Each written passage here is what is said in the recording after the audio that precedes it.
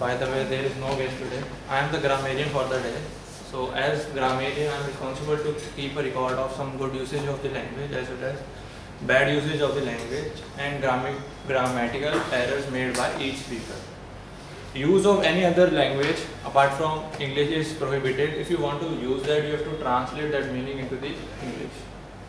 And the, if we talk about the word of the day, the word of the day is cloying. That means overly sweet, very sweet. Uh, the sentence I will present is the last night the wine which I consumed was very cloying.